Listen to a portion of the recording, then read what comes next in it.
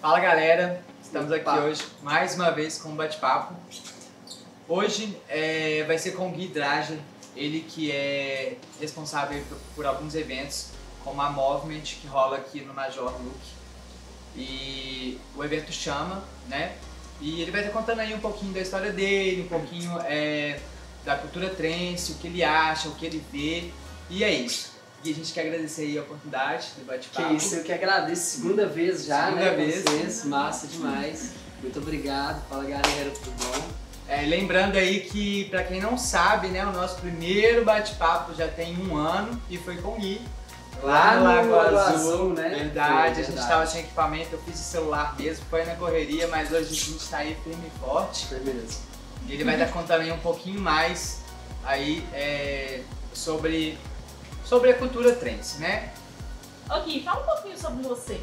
Bom, é, eu comecei a ouvir música eletrônica, eu lembro até hoje, assim, meu primeiro contato marcante assim, com música eletrônica foi ouvindo Daft Punk. Eu não me lembro se foi, acho que foi One, One More Time, é, em 2003. Eu tava voltando de escolar da escola, eu tava voltando do futebol. Começou a tocar aquela música, eu falei, cara, que som da hora, que som máximo, assim. E comecei a procurar por outros tipos de som, conheci na época Kraftwerk, Joy Division, que são assim percursores aí da música eletrônica. E desde lá eu fui procurando e tentando me aprofundar cada vez mais é, nos conhecimentos dentro do universo da música eletrônica. Quando eu descobri o que, que era rave, assim, é, tive os primeiros contatos com a ideia de rave já muito novo, eu ficava vislumbrando o momento que eu estaria em uma rave, que eu estaria ali aproveitando aquele espaço, dividindo aquele momento com outras pessoas e podendo curtir o som com o sound system bala, assim, fraga.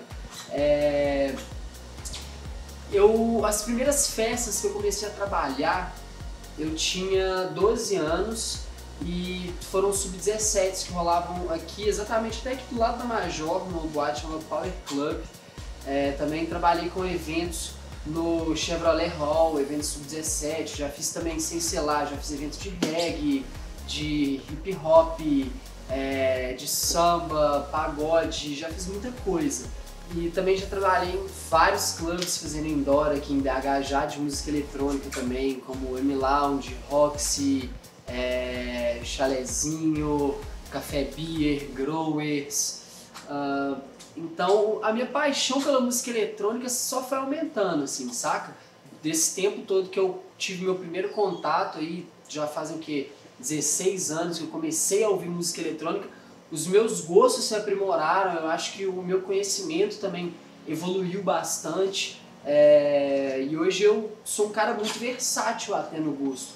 Por mais que eu tento trabalhar sempre é, com as linhas do Psytrance, é o que mais me apetece, eu faço também eventos de, com techno, com house, eu gosto muito também de chill out music, né, que tem uma derivação aí da música eletrônica que surgiu aí meio que desse contato da música eletrônica e da difusão do Psytrance e do Goa Trance.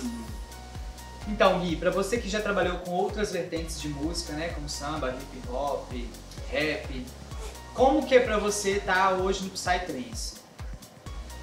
Ah, eu acho que é muito gratificante, assim, o que mais me realiza hoje é realmente trabalhar com Psytrance, embora existam algumas diferenças, né, tanto na preparação do evento, quanto até em dificuldades legais, muitas vezes, de conseguir fazer com que esse evento aconteça.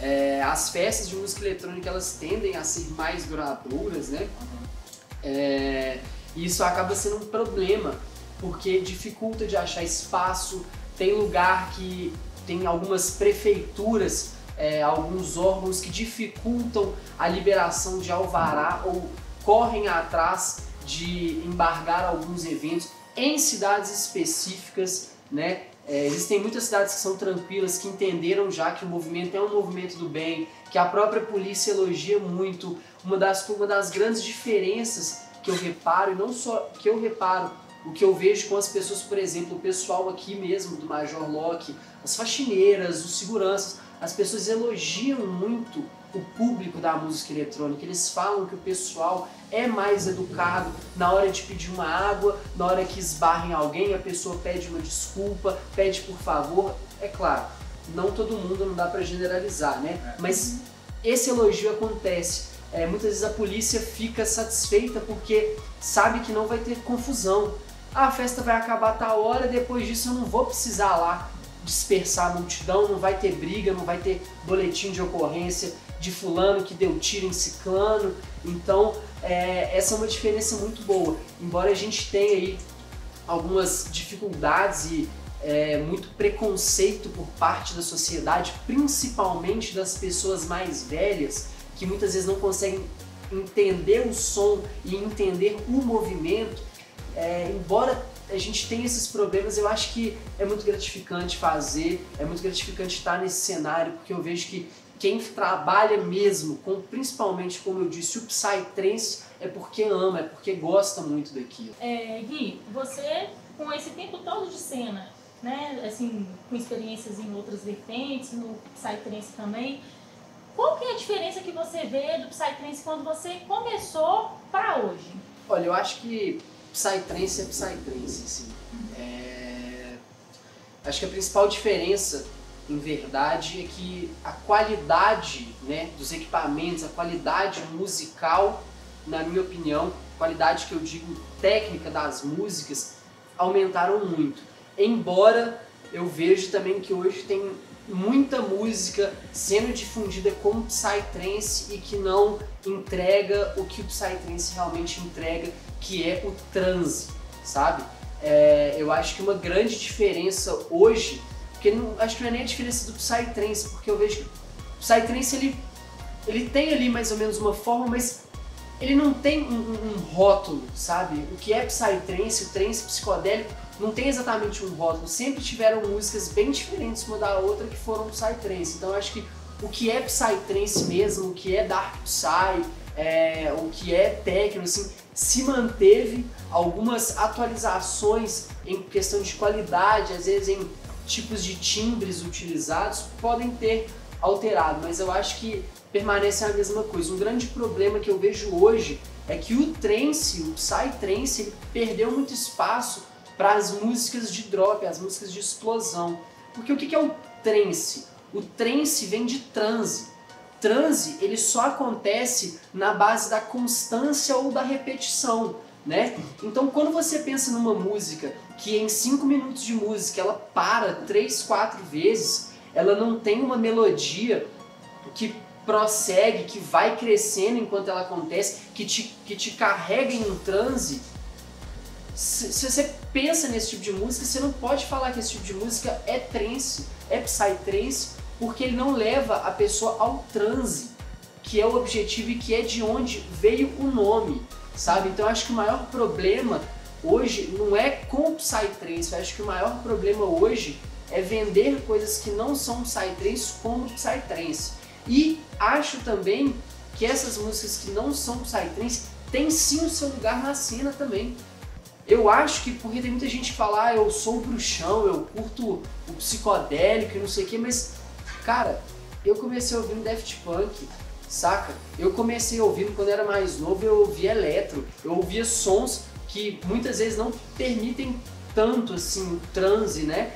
E sempre gostei, foi o que me colocou aqui. Não tem como eu julgar, falar que um não tem lugar e que o outro não tem lugar. O que eu posso falar é que tem coisas que são psytrance e tem coisas que não se enquadram como psytrance e que estão sendo enfiadas no meio aí, entendeu? Eu acho que tudo tem o seu espaço. As festas comerciais e as festas psicodélicas, elas precisam existir. As duas precisam existir. Mas eu acho que tanto o produtor quanto o público devem estar cientes dessa distinção das duas coisas. Devem saber falar, olha, não, realmente, isso é uma festa comercial, não. Isso é uma festa de psytrance, isso é uma rave, sabe? Ou isso é só uma festa de música eletrônica. São coisas diferentes, assim. A ideia é saber a diferença, né? Sim, existe a diferença. Eu acho que saber pro público vai vindo com o tempo, saca? Ninguém chega falando, ah, isso é psytrance, isso é, isso é flow, isso é prog, isso é dark, isso é forest, isso é twilight, isso é techno, isso é house, isso é deep house, sabe? Acho que ninguém chega assim. Isso vem com o tempo, sacou? E esses rótulos, na verdade, eles não devem ser o que devem ser levados em consideração, sabe? Mas o que deve ser preservado é um movimento que é característico do trance, do psytrance, que promovam o trance, é diferente de um movimento completamente comercial, onde as músicas não são baseadas no transe, sabe? Eu acho que essa é a principal distinção que tem que existir. E não se é prog, se é isso, se é aquilo, se é rápido, se é lento, se é diurno, se é noturno, sabe? Eu acho que é isso, assim, a principal diferença. É, foi até bom você falar, né, Gui? Porque muita gente não sabe. Não sabe dessa, dessa, do que significa o trance. Muita gente acha que o trance é a festa em si com os DJs. Mas o trance é igual você falou, o trance tem a sua diferença. Eu mesmo é, já tem um bom tempo que a gente frequenta, né, Bruna? E assim, não foi de uma hora para outra que a gente descobriu qual vertente que é qual. Demorou realmente um tempo pra gente saber quais vertentes são né? Isso é muito importante você falar aí. Com certeza, igual uma moda, né, que tem surgido, é, que acho que surgiu e já está até decaindo, é o tal do ritual, né? Que ah, vai ter ritual de fulano, mas o que, que ele realmente está fazendo ali para aquilo ali ser um ritual?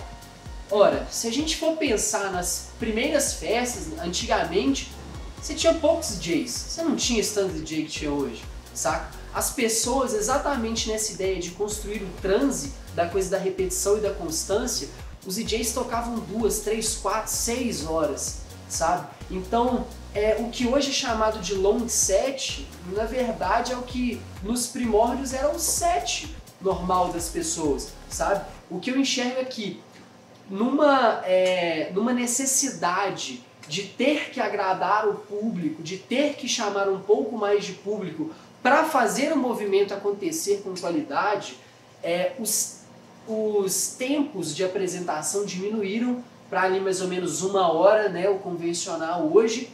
É, e com isso as pessoas começaram a confundir o que, que é uma apresentação de um DJ e o que é um ritual. Não é porque o cara vai tocar 6 horas seguidas, 4 horas seguidas, 10 horas seguidas, que aquilo é um ritual. Ele está tocando.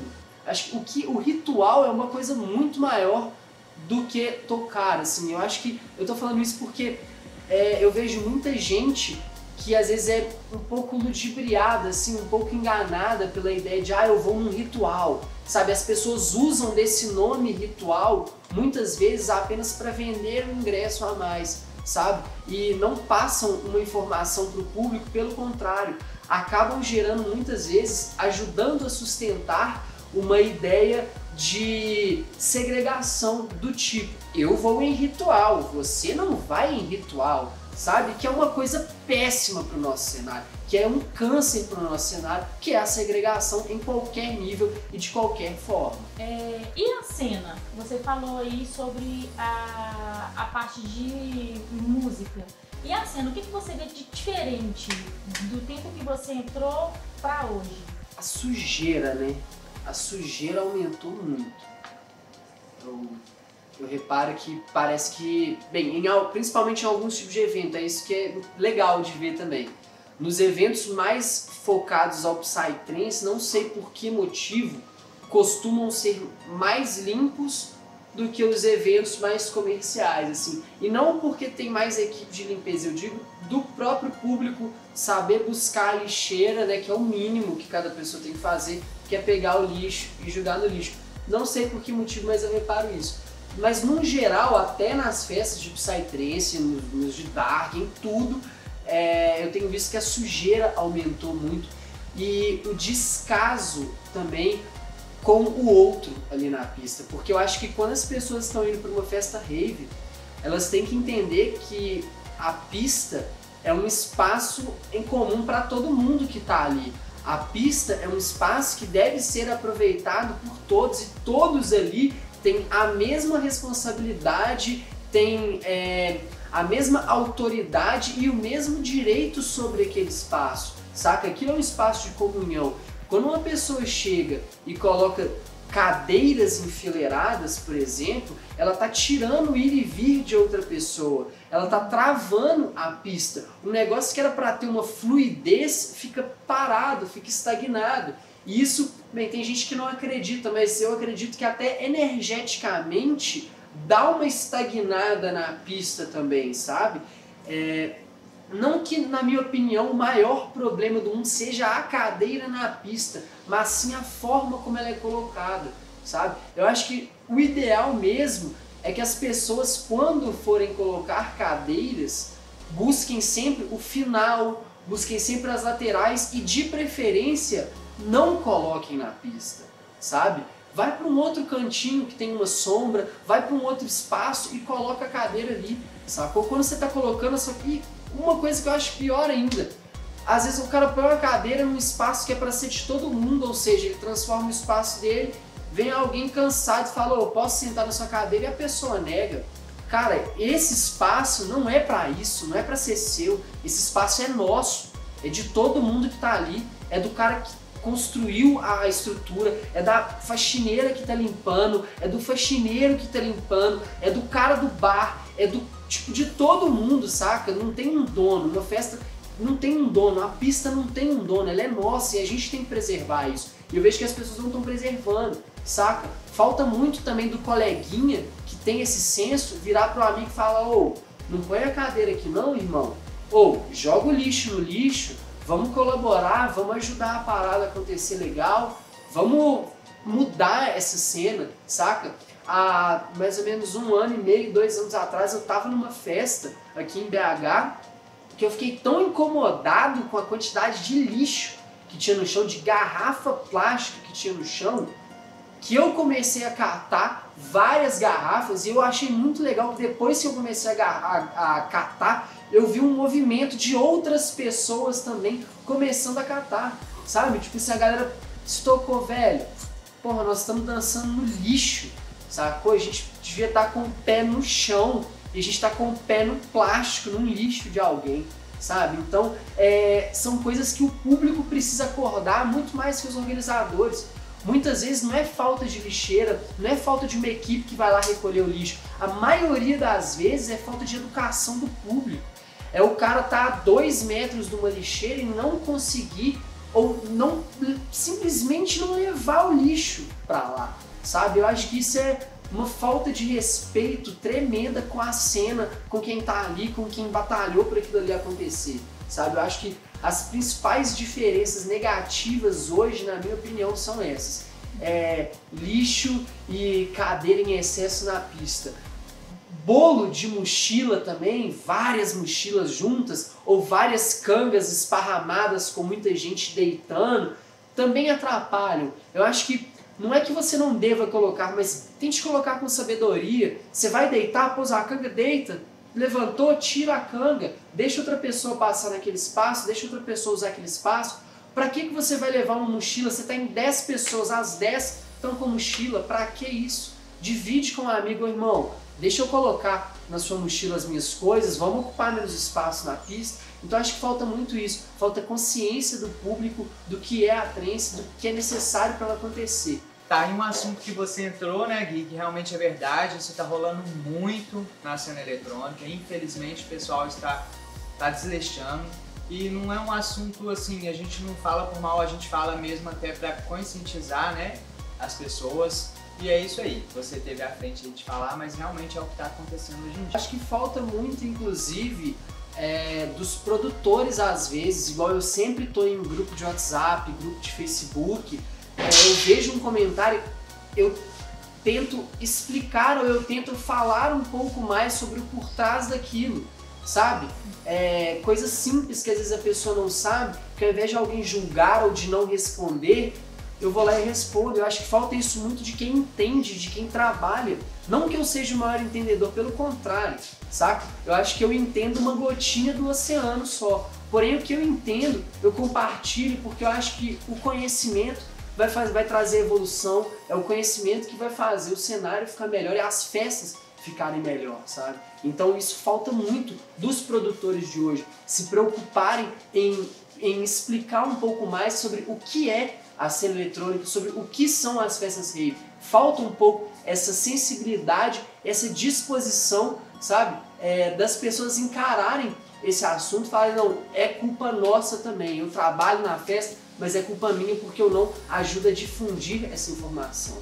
Olha, isso é verdade, viu? Porque eu tô em grupos que você tá e eu já vi várias vezes, porque as pessoas só falam assim, o som tá baixo. Aí eu já vi você explicando, não, gente, o som tava direcionado pro centro da pista. Eu já vi muitas das vezes tentando explicar as, várias coisas. Porque a galera só chega assim, o som tá baixo, é, a fila tá grande, e não sei o que, e não pode levar barraca, pô, por que, que não pode, entendeu? E não sabe exatamente o que, que tá acontecendo, não sabe o porquê daquilo ali. Eu acho que é um ponto assim, ninguém é obrigado a saber, uhum. mas eu acho que quem sabe deve tentar compartilhar isso pelo bem comum, entendeu? Pelo bem do nosso cenário. E, então, a gente já, já que já entrou no assunto aí, né, de... de... de... polêmicas. É, polêmicas, mas na verdade não é polêmica, né? Na verdade é uma coisa séria que está acontecendo e que precisa de ser dita. É, tá né? acontecendo, mas está sendo mascarado, né? Isso. Então, o que, que você acha da questão de barracas em evento com menos de 24 horas? Olha, eu acho que é uma questão bem delicada, assim. É, primeiro que, por exemplo, num evento igual a Chama, né? É, que são... A noite é uma pegada bem diferente do dia, né? A noite a gente tem Forest, Dark, Full Night, High Tech. E de dia a gente tem Prog e Full On. Muita gente que gosta da noite não gosta do dia, sabe? Então, por exemplo, para que, que a pessoa vai à noite só para dormir na barraca se ela não gosta da noite? entende? E o que eu penso também é o seguinte, são 24, são menos de 24 horas só, sabe? O que, que a pessoa vai fazer dentro da barraca? Dorme em casa, é mais confortável. Esse tempo que 20 pessoas, 30 pessoas que levam barraca, levam colchão, não sei o que, eles vão dormir às vezes 3 horas durante a festa, mas eles vão atrasar 2 horas na portaria também, porque a revista deles é mais complicada. Então, eu acho que sim, na, na minha opinião, a explicação básica ou é porque a pessoa está querendo muito transar durante a madrugada, ou é porque a pessoa é muito preguiçosa, assim, pô, está indo numa festa de pouco tempo, curte o negócio, vai dançar, seleciona, antes de ir na festa, selecione os DJs que você, que, você quer ouvir, escuta, ah, não conhece DJ e tal, escuta o som do cara, para você selecionar o horário que você quer chegar e o horário que você quer sair sabe? Eu acho que não tem essa necessidade de ter barraca numa festa por menos de 24 horas. Tipo, estraga um pouco da estética, às vezes, do ambiente, se ele não tiver um espaço um pouco mais separado para pôr. É, a galera acaba ficando morgada ao invés de dançar, tá dormindo, sabe? E atrasa muito a portaria do evento. Eu, então, eu não sou a favor, assim, eu não gosto dessa ideia de barraca, mas eu entendo também que existem pessoas que às vezes vieram de longe, né? Às vezes a pessoa pegou uma excursão ou veio dirigindo, ela veio 6 horas de viagem para a festa. Aí a festa tem 24 horas, então são 6 para vir e 6 para voltar. Então nós estamos falando que essa pessoa gastou 36 horas naquele evento. Entendeu? Aí, beleza, tem uma explicação maior. Ou então uma pessoa que vai trabalhar no evento, né? Tem uma lojinha, tem uma exposição, ela chegou antes da festa começar, vai sair depois, aí ela fica num cantinho ali tudo bem, é compreensível, mas fora isso eu acho que assim, é bem desnecessário. É. Tá aí o ponto de vista do, do E que compartilha com nós é, também, né? É, Não compartilha que... conosco, realmente. É, é, ô Guilherme, e você como produtor? O que, que você acha aí, é, com todas essas mudanças, é, que que você, do seu ponto de vista, o que, que você acha que pode melhorar nos eventos? Olha, eu acho que uma coisa que eu sinto muita falta também, é, e que deveria voltar, é uma decoração muitas vezes mais psicodélica. Igual, antes você ia nas festas, tinham vários panos psicodélicos pintados, espalhados pela festa, naquela cor fluorescente e tal, Paraná. E hoje em dia, muitas vezes, o que a gente vê é, são os mesmos estilos de tenda, é o mesmo estilo de palco, é a mesma aplicação. A pessoa faz uma tenda, tipo assim, ah, a tenda é grande, mas é, não tem nada de diferente nessa tenda, o cara não põe uma coisa diferente na pista, não, não usa um string art, não usa um pano pintado, não faz uma projeção diferente, uma projeção sem ser no palco, uma coisa lateral, em outro lugar, por exemplo.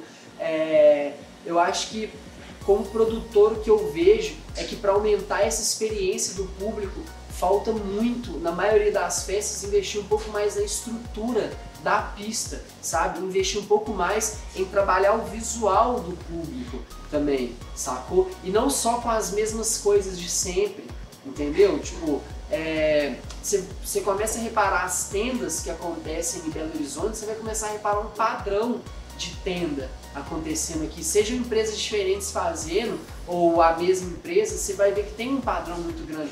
É claro, em algumas coisas é difícil fugir de padrões. Tenda é uma coisa complicada, você depende do tecido e tal, mas as formas de aplicar o tecido, os tipos de tecidos usados, sabe? Às vezes outras coisas, uma linha encerada acompanhando, filtro dos sonhos, igual eu falei, um outro pano psicodélico pintado acompanhando a pista, sabe? São coisas que eu vejo que estão muito em falta nas festas hoje. É... Eu acho que uma vez eu li uma definição sobre rave muito interessante que diz que rave é Real Audio and Visual Experience, né? que é uma experiência audiovisual. Então, isso diz que não é só o auditivo, o visual também conta muito. Eu acho que na, numa rave, a sinestesia, né, essa é, é, muito importante a pessoa ter vários sentidos ali aguçados, até mesmo olfato, tato, se possível, paladar, sabe? Como por exemplo, todas as manhãs da chama eu passo pela pista distribuindo mexerica, porque eu acho que é um é um uma parada legal que causa uma experiência maior na pessoa e pô, fala sério, solzinho batendo, você comer uma mexerica gelada também é bom demais. São coisas simples que diferenciam a experiência do público ali na festa e que eu vejo que a maioria das festas não faz. É line-up, a tenda convencional, o palco hoje em dia, né, palco de MDF pintado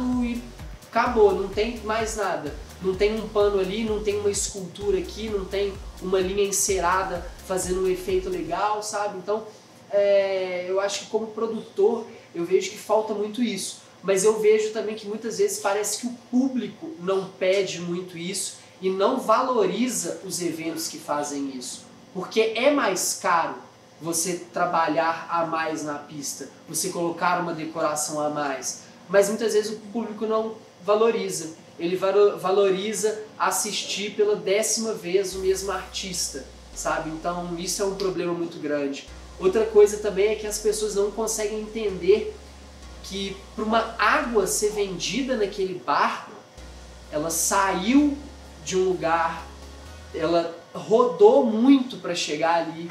Tem a pessoa responsável por distribuir aquela água, tem um caixa responsável por vender essa água para você, teve a estrutura do bar que foi montada só para te atender. Então, assim, quando você vai comprar uma água que seja, um, um, um, um refrigerante, alguma coisa, você tem que entender que o custo para ele chegar numa rave, para ele ir numa festa, que às vezes é mais esporádica, é muito maior do que ir no mercadinho. E as pessoas precisam entender também que por mais que é feito por amor, é um trabalho, saca? Isso que a gente faz de acordar às vezes 7 horas da manhã para resolver coisa, para ir em sítio, para ir em prefeitura, para fechar contrato e ir dormir 4 horas da manhã, sacou? Que isso precisa ser reconhecido, isso precisa ter um valor. A gasolina que a gente gasta para ir resolver as coisas, o tempo que a gente gasta, o conhecimento empregado que a gente coloca nesse evento, sabe? Então, eu acho que as pessoas têm que começar a entender um pouco mais disso sabe? É, a gente não tá simplesmente. Não é, você não pode comparar com a reunião que você faz na sua casa, que você põe um som mais ou menos, um sound system mais ou menos, com uma música que você escolheu e provavelmente você já escutou várias vezes, que não teve uma pesquisa maior, uma curadoria maior, que não tem uma decoração, que não tem um público legal, sabe? Porque tudo isso conta. Então acho que as pessoas precisam valorizar o trabalho do produtor e entender que às vezes ele também corre muito risco quando ele faz uma festa que custa 70 mil reais, 100 mil reais, 200 mil reais, meio milhão de reais, porque nós temos festas em BH que chegam até um milhão de reais. Então, assim, a pessoa tem que entender que o risco para o produtor também é muito alto muitas vezes. sabe? Ele, a, a, parece que as pessoas acham que ah, o cara faz festa, então toda festa que ele faz, ele ganha rios de dinheiro. Pelo contrário, tem festa que às vezes você perde mais do que você ganhou em três, por exemplo. E aí você tem que dar a volta por cima e continuar entregando um evento de qualidade para as pessoas. Então isso precisa ser valorizado pelo público também. Verdade, tá? É um assunto para quebrar os paradigmas, né? Guilherme falando tudo aí abertamente pra gente, mas é o que a gente precisa ouvir que o público de, de Minas precisa ouvir, não só de Minas, mas do Brasil todo, que é o que está acontecendo hoje. Outra coisa também que é um absurdo é as pessoas ficarem falando tão mal da cena, as pessoas que eu digo, muitas pessoas de Belo Horizonte, de Minas Gerais, falando mal da cena de Belo Horizonte, falando ah, a cena de tal lugar é melhor que não sei o que, taranã. eu acho que essas pessoas não estão buscando direito os eventos que elas vão, sabe?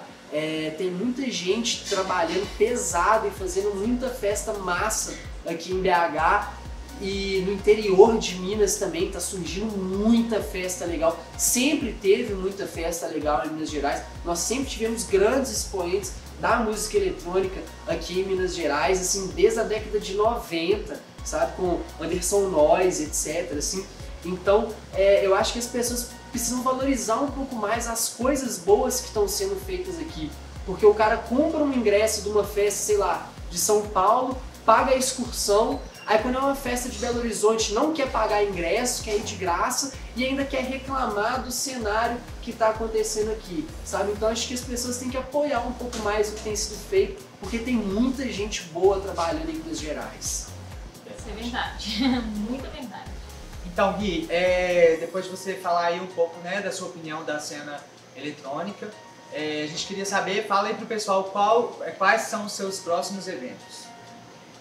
Olha, os próximos eventos, assim, os mais próximos, é, são a Movement, que acontece aqui no Major Lock, e a Chama.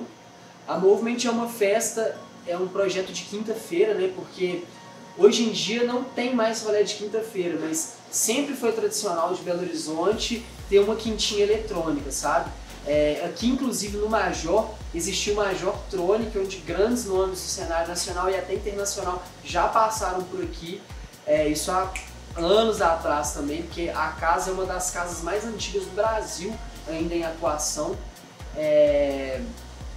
E assim, a Movement ela surgiu muito baseada é, na época que eu comecei a ser piolho de festa, assim, que era uma época que a gente tinha rolando em quintas-feiras à noite, assim, rolava a Major, rolava umas, umas Major Tronic na época, é, rolava a Label, que era uma boate aqui do lado também, que tinha música eletrônica, rolava, assim, Roxy, que já não existe mais também, cheio de graça, on-board, então tinha época que tinham quatro festas, cinco festas de música eletrônica em uma quinta-feira e hoje em dia já não tem mais, sabe? E eu acho também que a galera que sai quinta-feira para ir numa festa, principalmente uma festa específica como uma festa de música eletrônica, ela sai porque ela quer muito curtir, sabe? Eu sou um dos maiores fãs da história de sair quinta-feira. Eu acho que quem sai quinta-feira e tá disposto para curtir vai quebrar o pau mesmo. Então, os melhores rolês vão em dia de quinta. E aí surgiu a ideia de fazer a Movement. É, na verdade, eu já tinha ideia de fazer um evento aqui de novo de música eletrônica Major, mas eu tava esperando sentir que era um momento legal de fazer. É, convidei um amigo para fazer, que já era aqui da casa. Depois convidei um outro amigo, que são o Matheus Pitoco e o Luiz Tomasi. É, troquei ideia com eles e falei assim, galera, eu quero fazer essa festa e eu acho que a equipe massa pra gente desenvolver esse projeto são vocês. É, inclusive a próxima já é na quinta da semana que vem, dia 8 de agosto. São duas pistas aqui em cima, a gente tem uma pista nesse lugar a gente está gravando, que é de techno e house, e lá embaixo a gente tem outras vertentes também. E lá embaixo a gente tem a pista mais focada em progressive e full É... Agora, é bem legal a festa, a gente sempre faz uma decoração massa. E sobre a chama também, é, ela vai acontecer agora nos dias 17 e 18 de agosto. Serão, se não me engano, 21 horas de festa. Agora eu estou um pouquinho confuso, é, mas serão 21 horas de festa no sítio Canto Verde. Nosso line-up tá assim, recheado de bomba, só DJ de altíssima qualidade, só projeto muito bom. nem todos são projetos muito famosos, mas todos são projetos assim de extrema qualidade. É, temos um destaque, dois grandes destaques assim de diferentes na festa que são o Antônimos, que é um grego, né, da Sonic Loom, e também o versus inédito do Ground Base versus Tijá, né, que é uma que rolou agora esse fim de semana a primeira vez em acho que Fortaleza ou Maceió, mas que na minha opinião vai ser um dos sets de prog de maior qualidade do ano de 2019 em Belo Horizonte. É, além deles, assim, tem vários nomes fodas, só sonzeira. A nossa noite está basicamente ali é, sendo levada pelo Forest com uma pitadinha de Dark e também ao amanhecer a gente vai colocar um high-tech. Logo depois a gente já faz a transição para ir para o full e depois de tarde vai ser aquela maciez do Progressive Trance, né? Até o fim da festa. É, no final também vai ter um pouquinho de prog dark, já que vai estar mais escuro, então vai ser um, um o line-up tá bem fluido, assim, então line-up bem montado, bem consistente, porque isso também é uma coisa muito importante, né? Além de ter bons DJs, é saber o momento certo de cada DJ dentro daquele contexto. É claro que às vezes algumas festas são atrapalhadas por questão de logística do artista, mas o ideal é que cada artista seja colocado em um momento que o som vai encaixar melhor e a fluidez da pista vai ser mantida, entendeu? Sem essa quebra de sair de um, sei lá, é, dark, por exemplo, e para um prog, assim, pô, nada a ver, né? E também tem uma grande diferença esse ano, é, nós vamos trazer também a equipe da Spancartes para fazer a nossa tenda, que é uma equipe assim já bem consagrada, trabalha com o Pulsar Festival, já trabalhou com o Boom Festival, que é um dos maiores festivais do mundo, né, que acontece é, em Portugal de dois em dois anos, trabalha com a Anacan Festival, o nosso palco também vai ser um palco feito pelo COI, que era da Sonhar de Produções, um cara assim, que na minha humilde opinião é um dos melhores do Brasil para fazer palco, é, nosso sound system também vai ser o sound system do Johnny, que é um, hoje um dos melhores sound systems do Brasil. E, bem, uma coisa legal que a gente vai fazer também é a doação, né, que nós fazemos todo ano. Que geralmente, como a festa era em julho, a gente fazia a doação de agasalho, né? Como nós mudamos esse ano para agosto, já no final do inverno, a gente vai pedir, né, recolher e incentivar a doação de brinquedos que serão destinados a crianças carentes no Dia das Crianças, que vai ser em outubro. Inclusive, fica o convite para outros eventos é, fazerem, terem essa mesma atitude e se quiserem a gente pode somar essas doações para, quem sabe, fazer uma distribuição mais legal, até talvez fazer um Dia das Crianças legal é, para a galera que precisa. Todo ano a gente sempre faz esse repasse, antes era dos moletons, né, das roupas de frio e também dos alimentos não perecíveis. E esse ano, mais uma vez, nós vamos fazer esse repasse, porém focando agora nas crianças e no Dia das Crianças. Boa! Então fica aí o convite para os eventos que quiserem aí oferecer, participar também. E é isso, né, gente? Então é isso, galera. Bate-papo aí com o Gui, foi um bate-papo super massa. É, queremos agradecer aí o pessoal da Major Lock que está cedendo espaço aqui pra gente hoje, pra gente fazer esse bate-papo. Lugar massa, pode vir que é muito maneiro, vocês vão gostar. Agradecer aí o pessoal pelo carinho com a gente nos eventos. O pessoal tá gostando aí do nosso trabalho, dos nossos bate-papos. Continuem aí, muito obrigado pelo carinho, é muito satisfatório é, receber o, o carinho da galera aí dos eventos. E vou deixar a palavra com a Bruna agora. E é isso, como vocês já sabem, é, o link aí da chama, de todos, tudo que está relacionado aqui ao bate-papo vai estar na descrição. E, e no mais é isso, gente. Não deixe de se inscrever no canal e acompanhar a gente nas redes sociais. Obrigado, galera. Foi um prazer estar aqui. Igualmente, Gui.